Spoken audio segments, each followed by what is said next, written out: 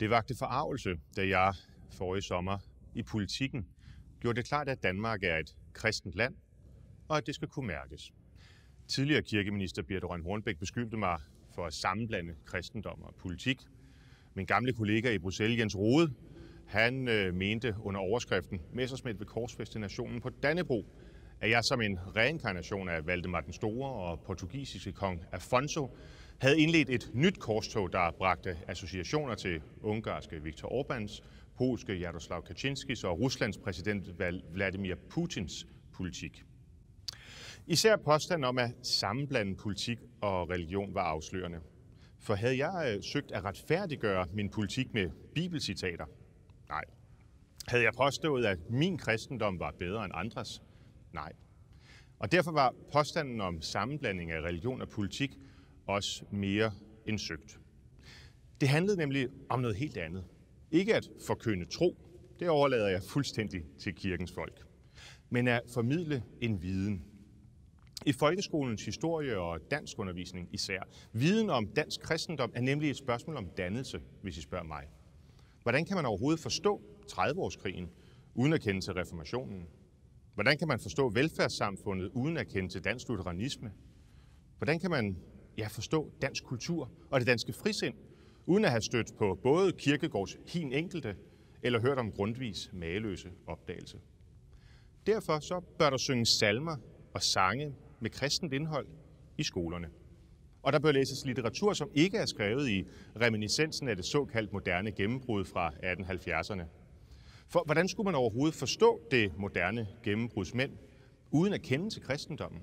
Hvordan skulle man forstå Voltaires Écrasson l'infâme uden dens objekt, nemlig kirken?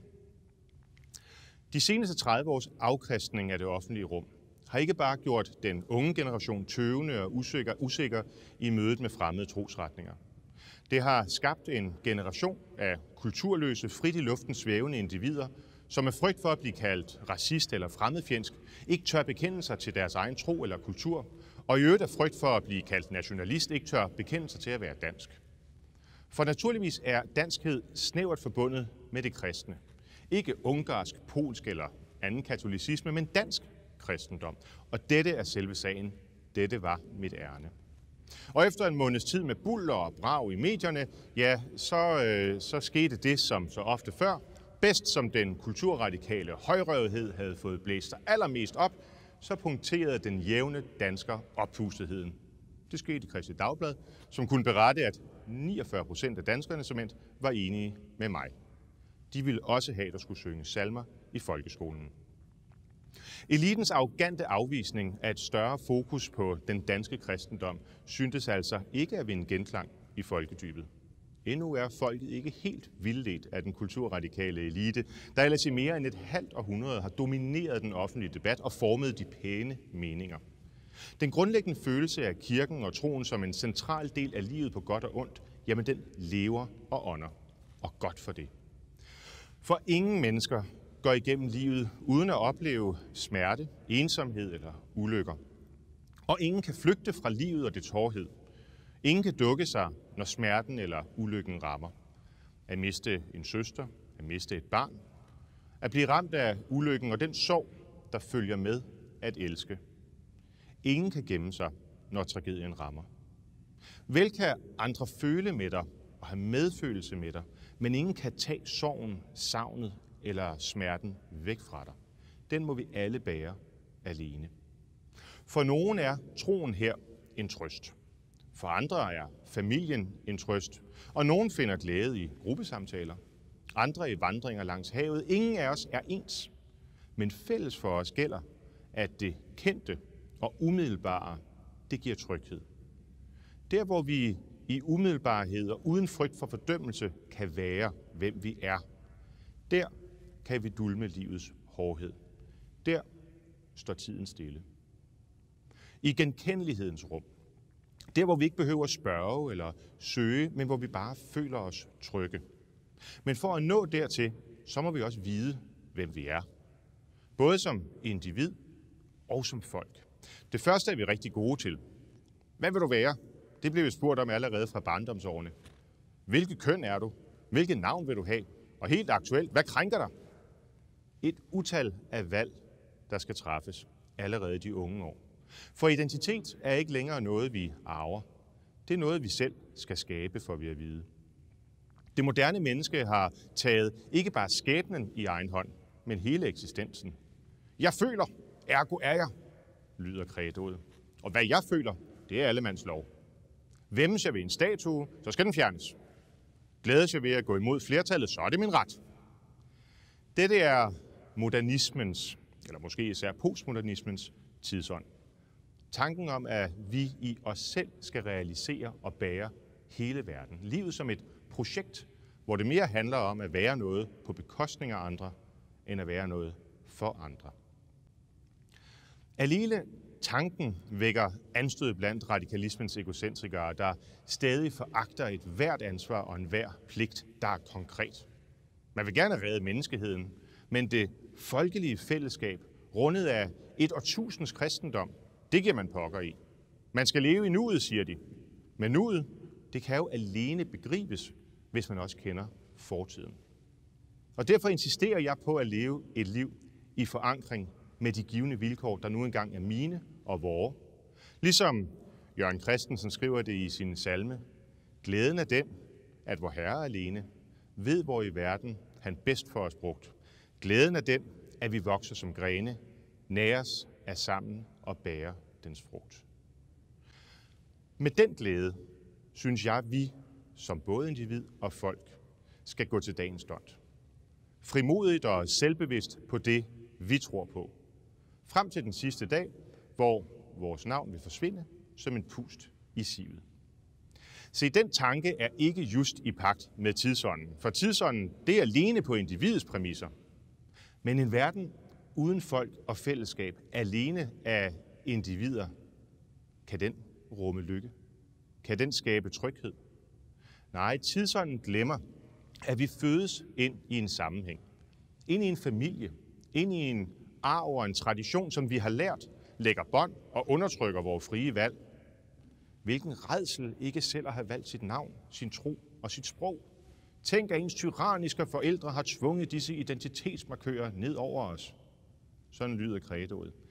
Men nej, det lykkelige liv leves ikke i, at vi absolut alle skal vælge en ny identitet og kaste det bort, vi har fået fra vores forfædre. Livets styrke, når ulykken rammer, det ligger netop i at kunne sige, der gik nogen før mig. Jeg er hverken den første eller den sidste til at mærke denne smerte. Og netop det kan man ikke alene, men kun som led i en kæde af sjælsforbundne. Som del af og deltager i den danske familie, der netop er vor. At opfinde sig selv, det er jo ingen sag. Men at acceptere, man er andet og mere end blot sig selv, er den for tiden sværeste erkendelse. At kende sig selv i flertal. Her har staten ikke bare svigtet, men forrådt sine børn. Som en omvendt JFK, den amerikanske præsident, så spørges der i dag ikke, hvad vi kan gøre for vores land, men hvad velfærdsstaten kan gøre for os og vores selvrealisering. Og så pokker med, at vi lider af stress, anoreksi, angst, PTSD og andre diagnoser som aldrig før. Så længe vi bare realiserer os selv, det må læger og terapeuterne jo tage sig af. At de mange lidelser måske skyldes, at vi fra barnsben aldrig har hørt et du skal, men alene et hvad føler du i dag? Det er der ikke nogen, der spørger om, for det går imod tidens. At den, der er i en international og flagrende verden, hver dag skal tage stilling til, hvem han er og hvorfor hun er det, allerede derfor må blive usikker, stresset og føjelig, ja, det generer altså ikke tidens monotont messende ideologi. Mærk nu efter, hvem du er. For vi skal jo være internationale, ikke? Vi skal jo være verdensborgere.